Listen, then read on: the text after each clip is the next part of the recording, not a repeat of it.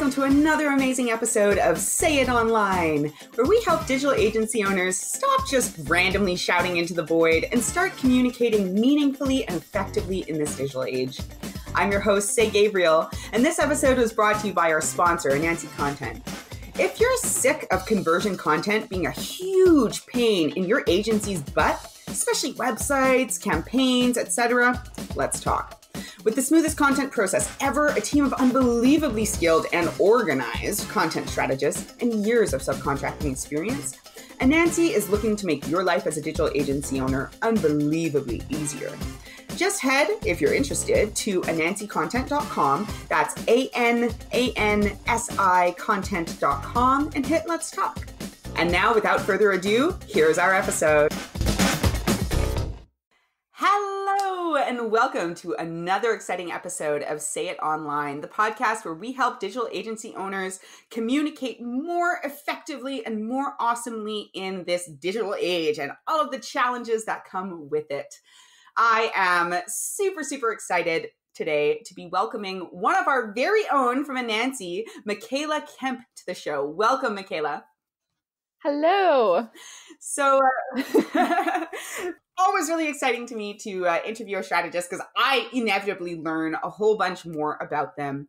Michaela has been with us for quite a while. She specializes in a number of different industries and types of projects. Before we get into it, Michaela, why don't you just take a few minutes to tell us about yourself personally? Give us an overview of what it is you do for Anansi. Personally, I have not been copywriting uh, for a huge amount of time, but I have done a lot of marketing. I used to do marketing and customer service and a bunch of things for a huge supplement company. I've kind of had a ton of different jobs, pretty much every job in the food industry you could imagine. I am a nutritionist. I've dabbled in a lot of things uh, before kind of settling down and deciding that copywriting was something that I not only really enjoyed doing, but actually was good at, which is a nice blend. So with Anansi, I am a content strategist and copywriter. So I work with a bunch of different companies and organizations to basically build content and strategy that is completely custom to them and really speaks to not only them and their brand, but the people that they're trying to reach. And that's the thing I really love about copywriting is trying to get that connection and kind of tell that story. Mm, yes, mm-hmm. connections, and stories, and all of that awesome, awesome yes. stuff. So, with these different uh, kind of positions you have, uh, you've had, I know that uh, you have done a lot of writing in your variety of positions, as well as uh, you know we've chatted a bit about your original intention to be a career academic.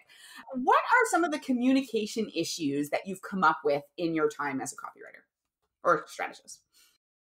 Well, st- sort of starting back to my university education, um, I have an English degree and I specialized in creative writing because I was going to be a doctoral candidate, creative writer, you know, famous novelist before I realized that I'm maybe not the best fiction writer. and I don't like doing all of the academic elbow rubbing that you have to do. So, one of the things I realized in one of my classes, we had to do a ton of prep for public speaking, give conference papers.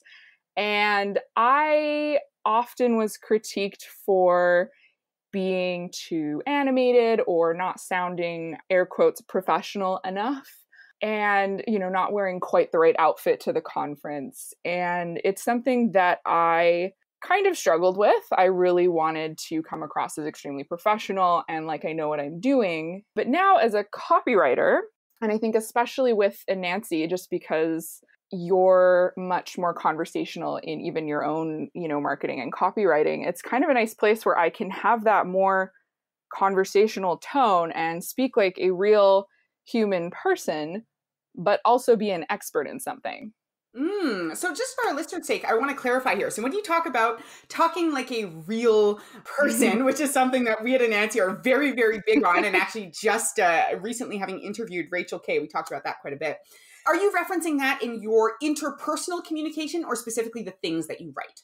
So, more my interpersonal communication. The things that I write are very much dependent on who I'm sort of speaking for and writing for. So, one thing I do always encourage clients and partners to do is I really like to write in a more casual tone. I think even in uh, stiffer industries, so I don't know, let's say like finance or tech, you are much more humanized when you use not necessarily slang, but shorter sentences, easy to understand language. You know, you relate to just normal people and normal problems. But it comes across more when I am like talking with my partners and speaking to the clients, and I have to be like, okay, you know, co- like tone it down a little bit.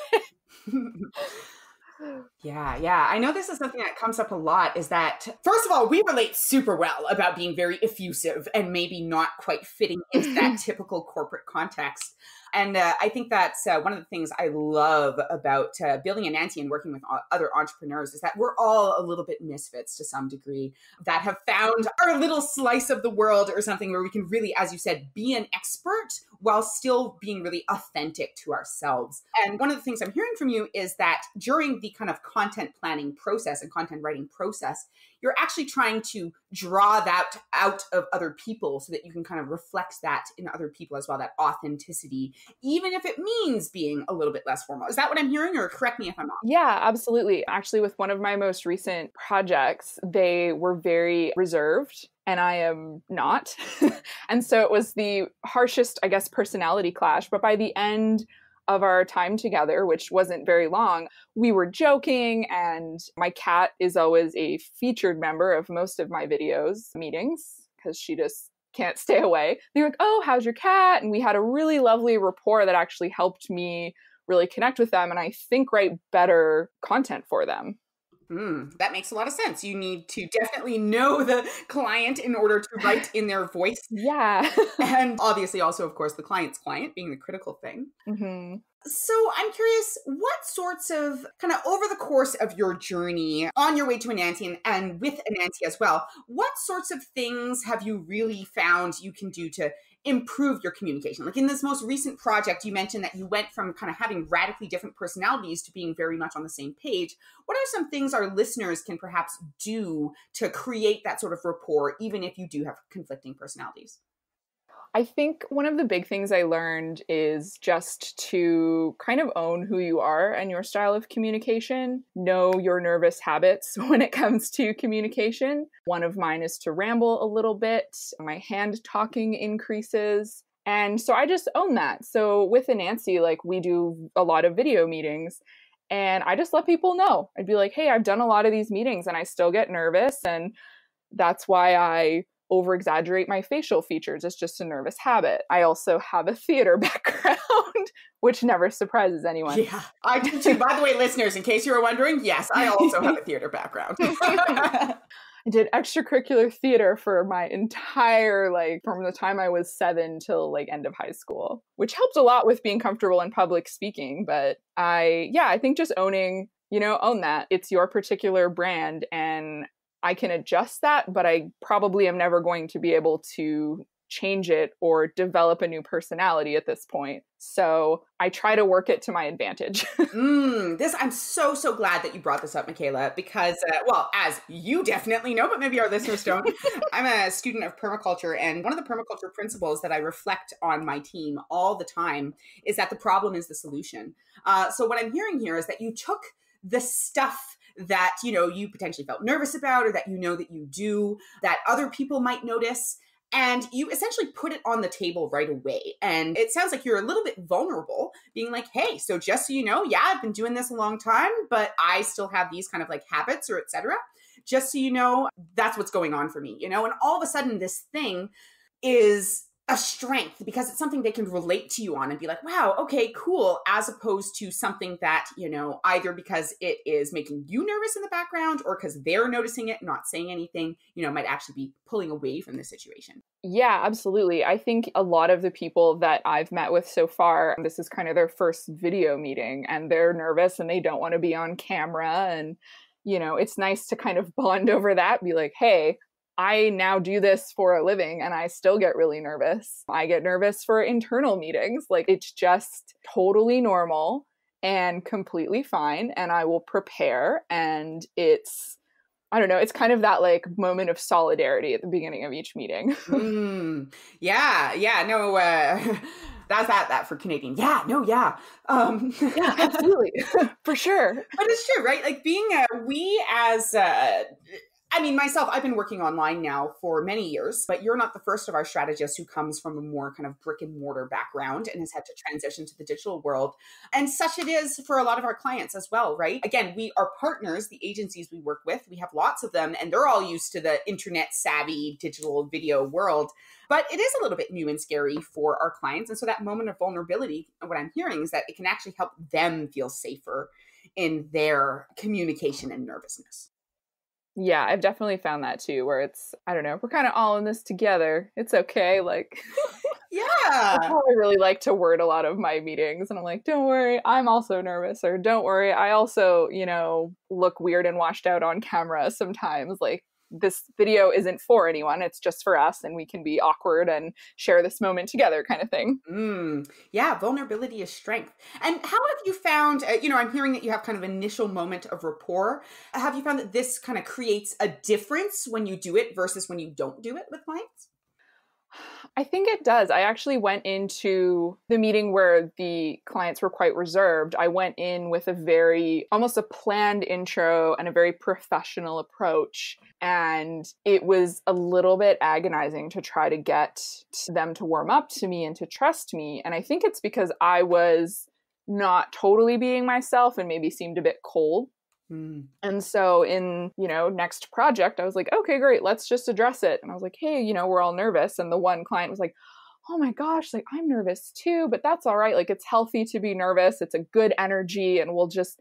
do our whole interview with this great nervous energy. And we just were like instantly connected. Mm. Mm. And I think that's really powerful. So, what other sorts of things have you kind of learned or done to improve your communication with clients over time? I have just started communicating a little bit more um, and a little bit more consistently. So, not necessarily in person, but through emails. I've started sending pretty diligent follow up emails. I try to kind of match what the partner wants. Some are very, okay, great, got it. And some, you know, are very full email rundown of that meeting. So, I try to match kind of what they're looking for, but I always do a quick little weekly meeting went great. Here's a few things we talked about. Here's what I'm doing this week. Here's what you're responsible for this week. Great. Awesome. So it's just a way to kind of keep everybody on the same page. And I definitely learned that through not doing it for a couple of projects and then having it backfire a little bit. So That's constant learning, right? yes. Every project, I feel I learn at least, you know, 10 more things. hey, I'm still feeling that way, and I'm on project number like 150 or something. So great. Good to know. Okay, so uh, let's uh, dig into kind of this idea of process and these elements of the mm. process that can kind of smooth things out. So, how have you found that something as simple? I mean, this seems almost uh, like it goes without saying, right? Like send a follow up after every meeting. But it's actually something that I've noticed that few people do, and it can create a huge impact when we do do. Um, so, what are some of the kind of different results or different impacts you've seen from that? I think I've seen everything from just no response, but at least I sent it and that information is in writing somewhere, to back and forth, huge, long, detailed emails, to, you know, okay, great, got it. But I think in all those instances, it was always appreciated if not directly acknowledged. And it's actually something I learned in my academic career is you always want sort of a paper trail of he said, she said, or she said, she said, just in case. Usually you don't need it, but if something ever happens in terms of, you know, but I thought you were doing this, or I was supposed to book that meeting, no, you were supposed to book that meeting, it does seem really, really obvious, but it's something that I've actually, you know, worked, I am working to work into my process consistently, just so that that is literally never an issue because you have it in writing somewhere. Mm, yes, agreed. And that's not to say that even those situations always that come up are going to be ones based on, you know, kind of like conflict or confusion or mm-hmm. misunderstanding. Mm-hmm. Just straight up, we're all busy. And it's nice to have things recorded because a few days later, you're like, oh, what did we say during that call? That was so easy to remember at the time. Well, and I've definitely done that at weekly meetings where I we always record our meeting notes and I've gone to open it and been like, "Oh my gosh, that's right. We didn't I didn't ask any of these questions." You're like, "Oh man, like okay, well." And it's sort of you almost go back a step. So, uh, yeah, I agree. It's I think a lot of the time it's just yeah, you forget or you jump on a call quick and jump to another project and kind of forget to do a follow-up notes for that. And you know everybody's got crazy lives and especially some of the partners we work with are juggling like 15 different things at a time. So Mm-hmm. It's nice to mm-hmm. have that. we are doing these, yeah, no, absolutely. and uh, when we are doing these follow ups, how do you overcome the kind of challenge of always being busy? Do you like set out 15 minutes after every call to do it? Do you do a whole batch of follow ups at the end of the day? Uh, what does that look like for you on kind of a process organization level? I literally do it right away. I am very, very excellent at procrastinating and very excellent at forgetting to do very small things and I know that about myself. So I just do it right away. I take notes. You know, I'm a huge note taker in any meeting. so I take notes all the time. And so I'll even just copy paste a few like action items, put it in an email. I don't make them super complicated or intense. It's just this is what we talked about. This is what I'm doing. This is what you're doing. Amazing. See you next week. And then it's sent and it's done. And then I close that task. Boom. Yeah, mm-hmm. um, that's awesome. so I'd actually love to back up a little bit. And something that you said before about being in academia, you know—we've chatted about the kind of creative writing world. Probably if you were studying uh, in school, in university, you, you know, were kind of writing essays or other types of writing at that time as well. Um, something that we hear a lot is this idea that, you know, the client has someone to write their own copy because they have a cousin or an aunt or et cetera who's mm. a writer. I'd love to just hear what to you are kind of the similarities and differences uh, kind of what did you need to do to transition from you know speaking in a more academic context versus creative writing which even in an academic context is mm-hmm. you know like creative or narrative based versus copywriting so I felt like it was kind of a natural progression for myself. So I started my, well, I mean, I started my creative writing career as a preteen writing fan fiction, I'm sure.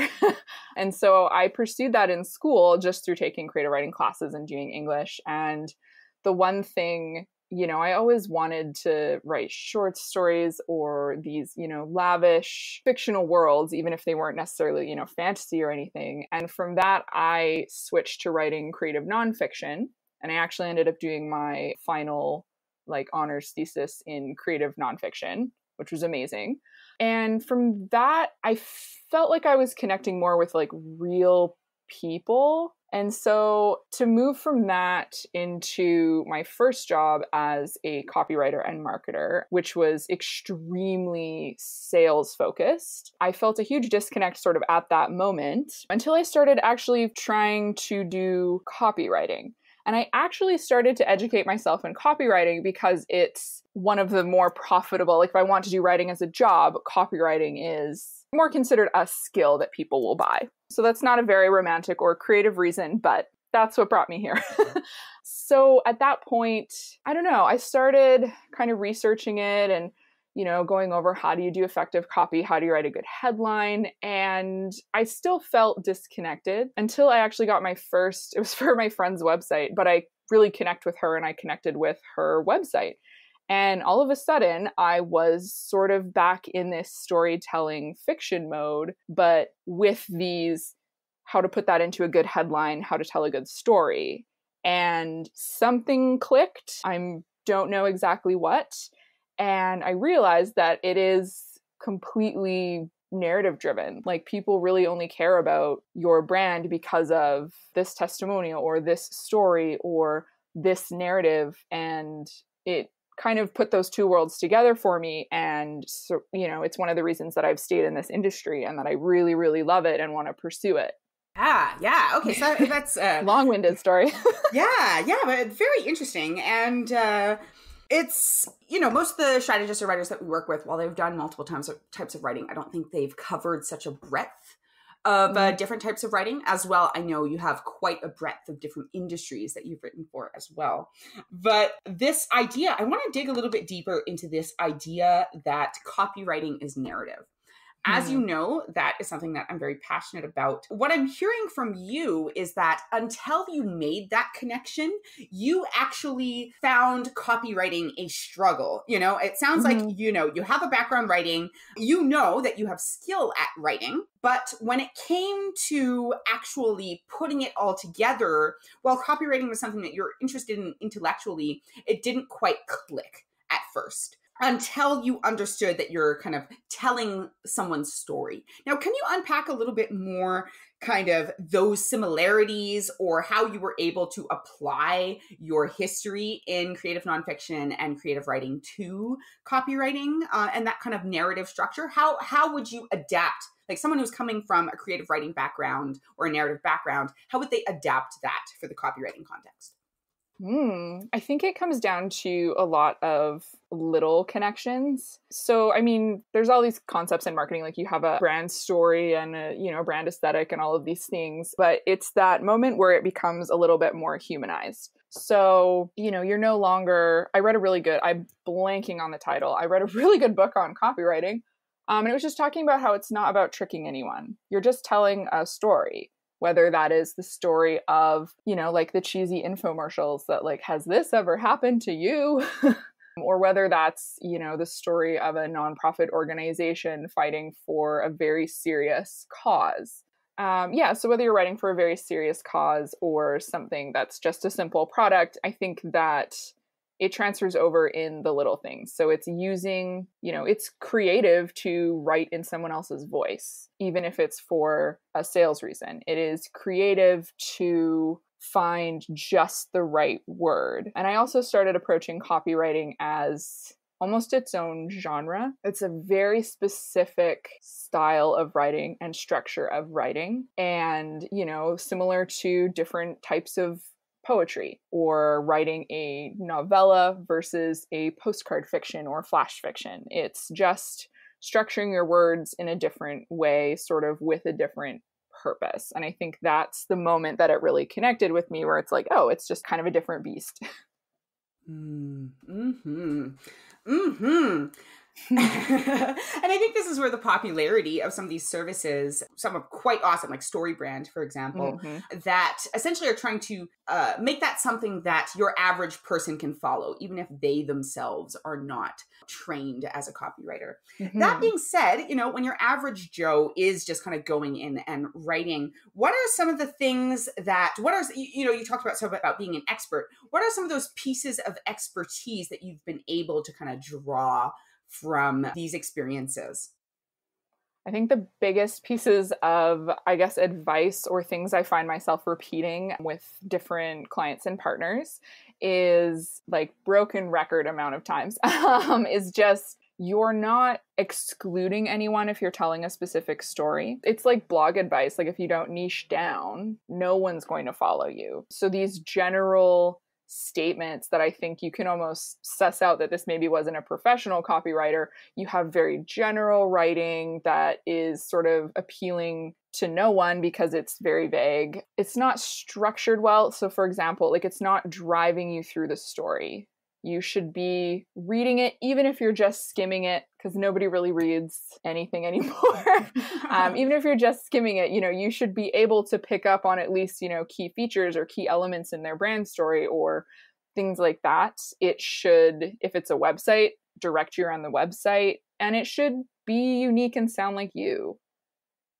Mm-hmm. Mm-hmm. Mm-hmm. Be unique and sound mm-hmm. like you. I think those are two elements that often get forgotten in the copywriting process. It's not just mm. about who you're writing to and what your core messaging is, it's actually about how you approach it, what you bring to the table, those kind of values that differentiate you in terms of a brand, not mm-hmm. just in mm-hmm. terms of services or value. Is that what you're trying to say? Does that make sense? Yeah, and I think it goes back to communication where it's like, you know, if you are a more casual, awkward speaker, own it, work that into your brand. If you you know someone will relate to that and become a die hard you know reader of your blog or frequenter of your website because they identify with that. So it's that whole you know coming back to you know take the things that maybe are not your favorite traits in yourself and find a way to own them. Hmm. make them positive traits. Or at least oh yeah own them i think own, own them, them just own them yeah. own them and I'm really glad that we're talking about this and this idea of kind of owning things, not just owning objects, but owning these aspects of your personality. And if I'm not mistaken, this kind of comes, ties back into the idea of excluding people, right? Is that mm. it's hmm. not that you're trying to exclude all of the people who don't relate to that. It's that you want to make sure you relate to the people who do. Because ultimately, not everybody is your customer you know your audience is almost never everybody. Mm-hmm. uh, it's usually actually a specific group of people and within that specific group of people there's still only going to be a limited amount of them that really jive with you as an individual as a business.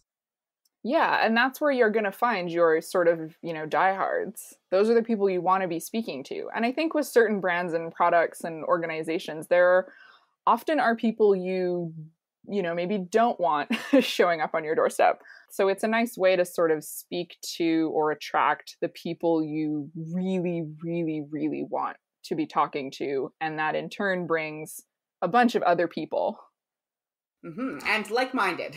That's one yes. thing uh, I heard from a mentor that really stuck with me mm-hmm. is that every person that you engage with invites more people like them to engage with you. Yes. Whether that's as a client or even in kind of the pre process.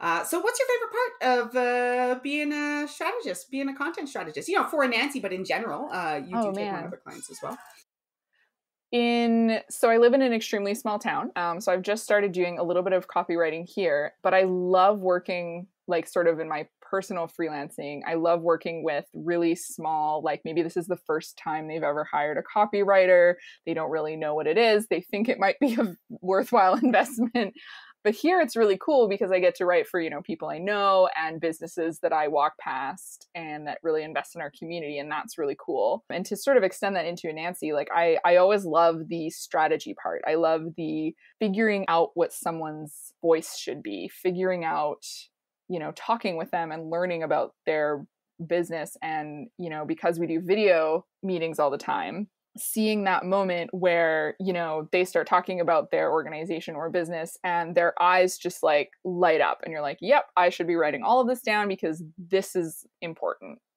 hmm, mm-hmm. That gold. I know. I I love that. I also love that feeling when you kind of present the strategy back to them, and they're like, "Wow, is that us?" Yeah, like, yeah. that this sounds this sounds great. Yeah. And it's funny because we're kind of, I always am like, you know, I'm not saying this has to be, you know, this is what you sound like now and this is your voice, but we, we do the archetype thing. And so it's like, you know, well, this is the why behind your business. So I can almost guarantee that this should be your voice. yes. Yeah, absolutely. Okay, well, we, as uh, I'm, I love ch- chatting copy. We could keep chatting copy for a while. Was there anything that maybe I didn't ask? I should have asked but didn't or anything that uh, you know you wanted to share about copywriting or the process or etc that might be valuable to our listeners? Oh my goodness. I don't know. I've been doing a lot of sort of reading and diving into you know creating for money or creating for love and passion. And I really, really am not a fan of that sort of vein of advice that's like follow your passion and you know the money will follow because it probably won't.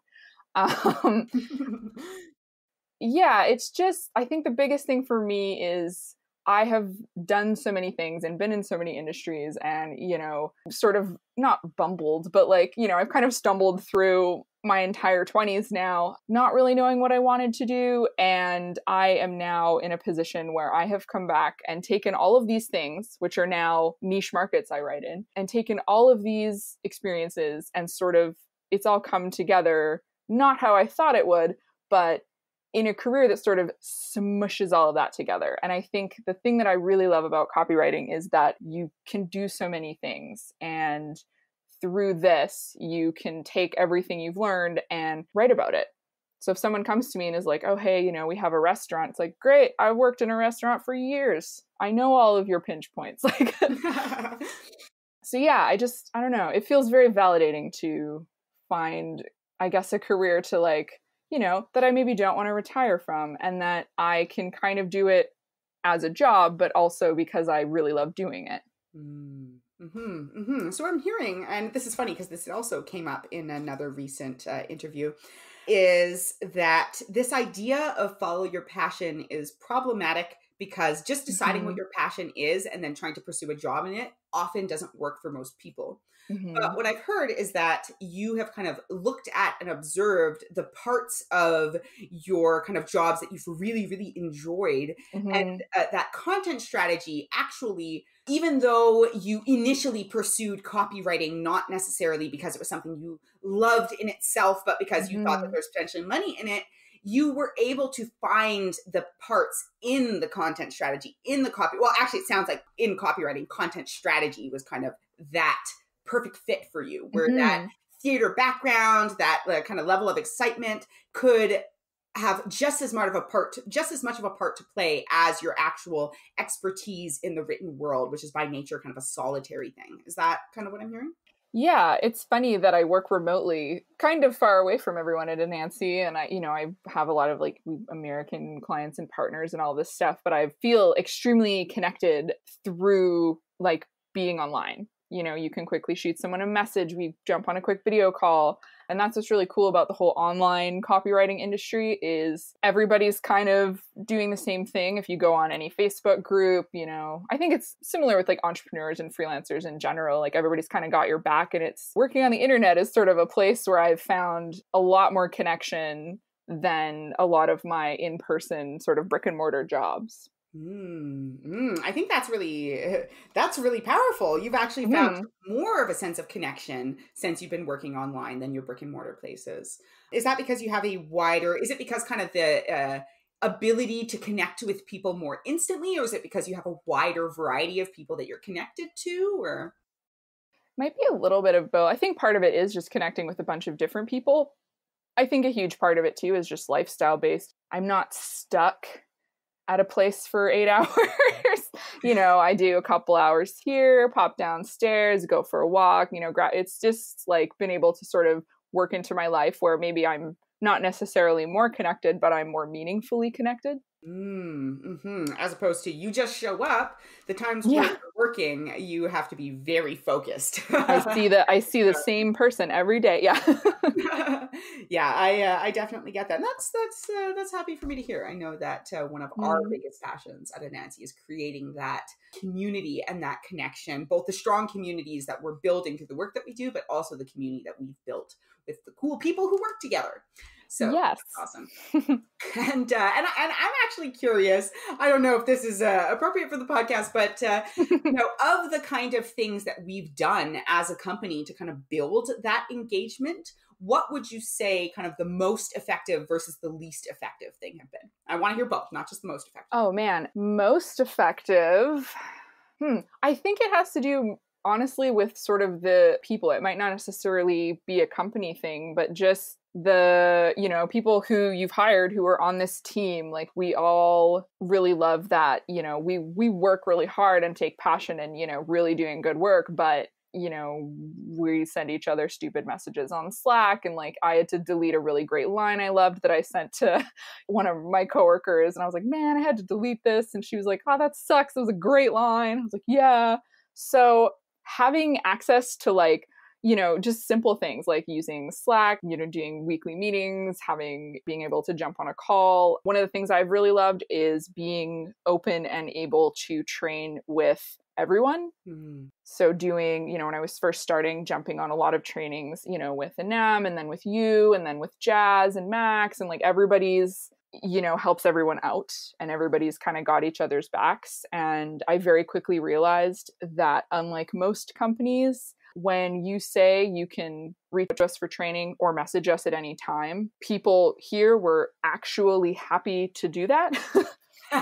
rather than just offering it to be polite. So that's been amazing. I think when I first started, one of the least effective things was kind of similar. Like it was, you know, here's your setup for everything. Go. And I was like, oh my gosh, like, what do I do? And so, as I was sort of training, as I was doing projects, I felt a little bit overwhelmed and disconnected at times but I think I don't know. It was it was up to me a lot to reach out to people, and I felt awkward doing that because I I wasn't sure. Like I was like, oh, I don't want to be that like annoying new strategist that needs tons of help. But I quickly learned that was not the case. Mm-hmm, mm-hmm. And uh, just the reason I ask this question because our Mhm. audience is a lot of digital agency owners. Many of them are kind of transitioning from solopreneurs or super small, you know, teams of two or something to bringing on more people to execute. And uh, one of the things that I hear from uh, a lot of our agency partners and listeners is kind of around the challenges of that. How do you screen for the right people? How do you keep them engaged? Mhm. How do you keep them connected? How do you onboard them? Do you give them too much information or not enough information, etc.?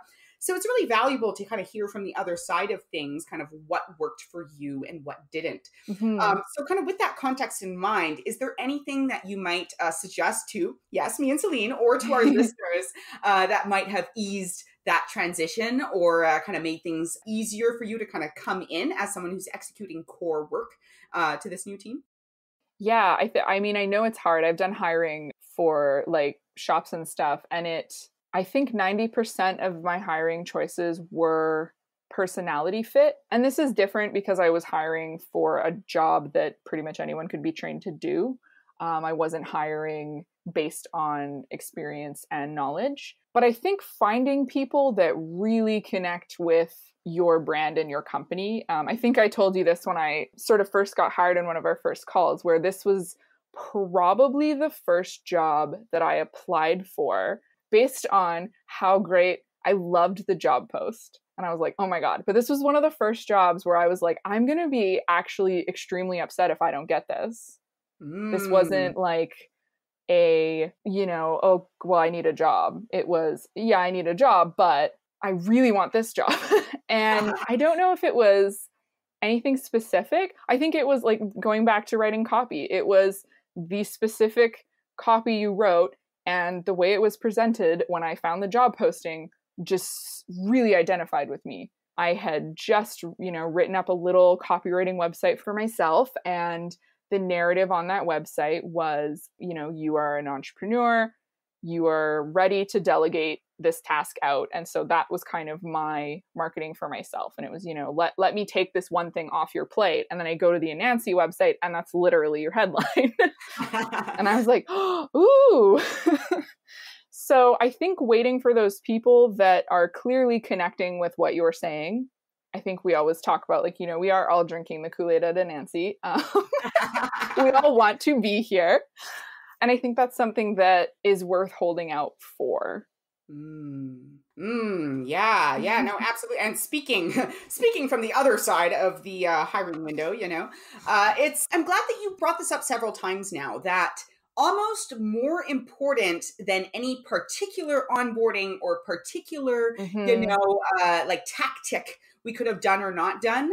Simply, hi- uh, not just hiring, hiring really well is I think too general or generic, Mhm. but making sure that we were very very clear on who we were as a company and what sort of cult i know this word culture gets tossed around a lot so i'm going to try and Mhm. avoid that word and try and be a bit more specific um, so you know the specific kind of values expectations day in a life uh, maybe even uh, for a bit of context we could throw that uh, job ad in the show notes so people can reference it Mhm. but uh, it's interesting that you brought that up because this was something that we, uh, although we are obviously a team of copywriters and content Mhm. strategists, it probably hadn't occurred to us how important it was to bring that copy into a job ad itself. And in fact, I take on uh, personal consulting clients uh, Mhm. who are agency owners all the time. And uh, one of the things we've been requested to do is to help people figure out those job ads and stuff. It uh, doesn't come in on projects as often, but definitely in personal consulting work, it comes in a lot. Uh, longer is better, folks. I will tell you this. We got our idea from a book. Actually, no, I think we hired you before we read that book.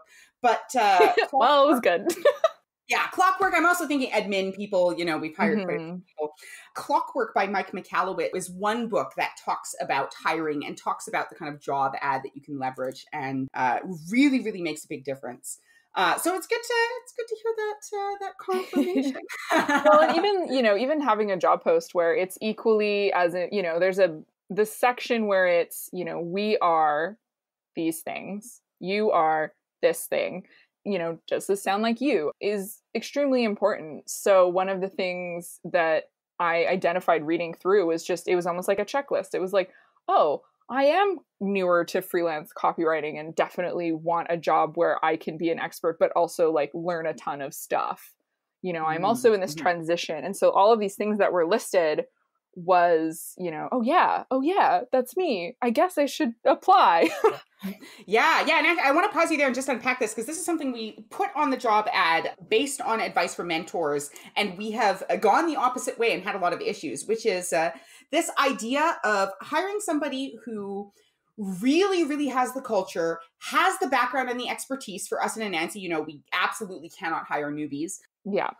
but is still willing to learn right is still kind of open to that nuance as a, a very dear friend and mentor of mine sheldon pereira has said uh, he said uh, hire the workhorse not the superstar you know mm-hmm. um, hire the person who's happy to come in and do the work and learn and get it done and even experience critique etc if they need to mm-hmm. not the person who comes in saying i've been doing this for a million years i know exactly the way i want it done and pretty much like fall in line or I'm, I'm exaggerating both of these right? But you tend to think oh yeah i want to hire you know the absolute best person possible but we often associate best with a degree of being fixed in place with your process, you know, as mm-hmm. opposed to best being somebody who has the skills, or maybe skills, I'd say skills as well as aptitude, but maybe isn't so tied into the way they do things, you know? I mean, we are the people, uh, our strategists uh, uh, who work for us at Anansi are following the say way, so to speak, mm-hmm. right? It is the way that uh, myself and my right hand woman, Selena, uh, came up with over years and years and years of doing projects. It's not the way every copywriter works. And a copywriter who's already been doing this for 15 years as an entrepreneur, you know, is going to have their own process and their own way. So anyway, I'm getting into ramble mode. Uh, but this was something that we uh, we actually backtracked on at one point, and we did try to hire someone who was the not not the uh, hmm, how do I say this properly? The creme de la creme. the creme de la creme. Somebody who had their own copywriting business for years, and uh, and we mm. found that there was just a lot of process challenges. Not that she wasn't awesome, not that she wasn't a good uh, culture fit, but uh, there's just a lot of yeah, I guess process differences that can come up. Although yeah. all of this now is uh, well, uh, this is quite a while ago now. yeah, and I think you have to be open to that, like with any, especially if you're going to be sort of subcontracted, is you know, and if you're going to hire, you know, freelancers and subcontract and do all of that is, you know, be clear on your process. Like when I work, when I do clients through just my business, it's completely different because one, it's just writing. but you know, I do I do a little get to know you interview or email series thing and then we go from there. So I have a very different process with that than I do with Anansi and I just kind of like switch those hats. So I guess being clear about your process and you know your expectations that was the other thing that was very clear in the job interview is what i knew applying what would be expected of me mm. instantly and the other thing i deeply appreciated is i had been doing this for several years but through companies which means i did not have a portfolio which meant i was struggling to get anybody to even consider like my resume i'm sure was just getting tossed to the side because i didn't really have a portfolio i can tell you i wrote all these things on this website but my name is not associated to it That's and so white label right yeah. yeah. it's mm-hmm. all it's all as the company and yeah so it was like no we just wanted writing samples through the questions you asked Mm-hmm. And, and like, uh, just for our listeners great. who uh, aren't familiar, I think we actually talked about this in another episode yeah. extensively. I believe uh, when I was interviewing Celine.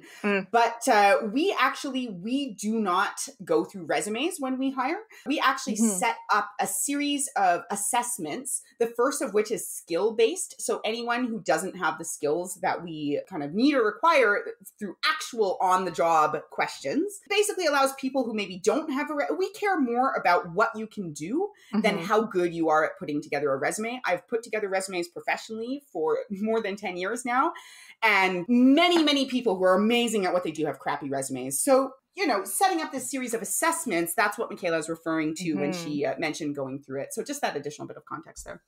Yeah, yeah, and it was great because it was like I felt like, you know, I was being taken seriously for my merit. And the other thing is is like, you know, how well I can, you don't know if that piece that I posted went through their editors or did this or if it's white labeled mm-hmm. if I even wrote it. And so to get something that's like, hey, here's a straight up test of skill, you know, and then a personality fit and um, you know, hey, send us video recordings because you have to be able to do that. So the whole thing was building towards all of these things that you knew you needed in the people you were hiring and it was very obvious but it was great because i was like great i can i can do this like Yeah, absolutely. I can't recommend enough. Like when we shifted from kind of a passive hiring method where we were being given, you know, resumes, cover letters, writing samples, even we had people filling out a form to an active process where we had not just fill out your information so we can reference it on the form. But here are skill testing questions.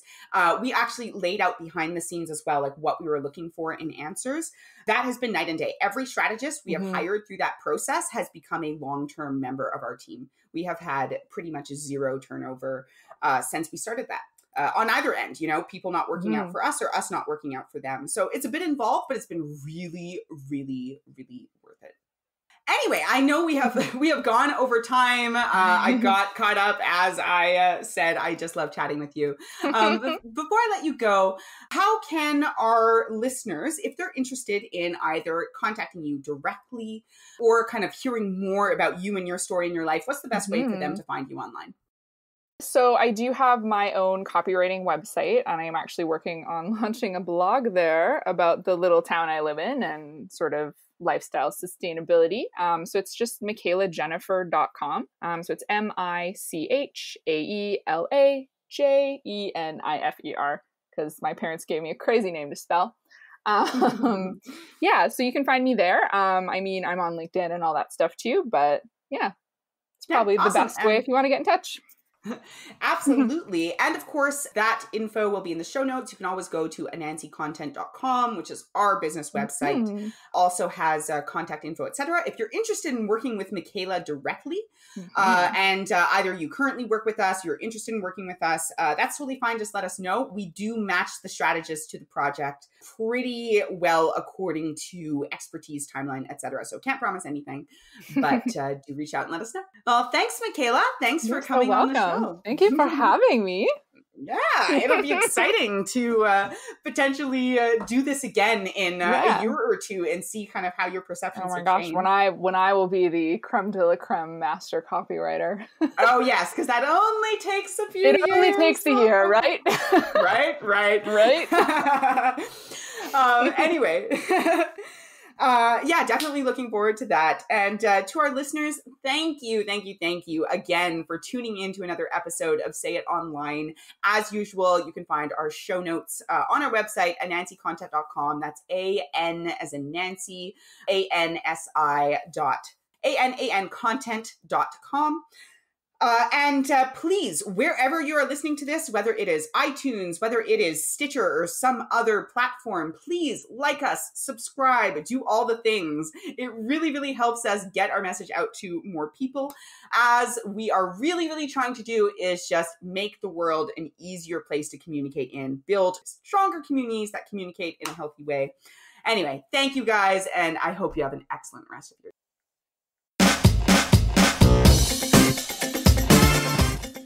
And that does it for another amazing episode of the Say It Online podcast. Join us next week. And don't forget to like and subscribe, whether it's iTunes, whatever your favorite podcast player is. It is always, always appreciated. It really makes a difference for us. It helps us get this word out to more people. As always, this episode was brought to you by our sponsor and Say's own business, Anansi Content. If you're a digital agency owner and you're still wasting too much time chasing down content that maybe isn't even all that great, Let's talk. We've spent years working on the best process for selling, planning, and delivering amazing conversion content for your client projects. Better yet, we moosh our process to yours so that your client and you have a seamless and amazing experience the entire time through. If you're interested, just go to our website. That's www.anansicontent.com. That's A N A N S I content.com. And just click Let's Talk I'd love to chat with you. Someone else on the team would also love to chat with you too. Hope you have an amazing rest of your day.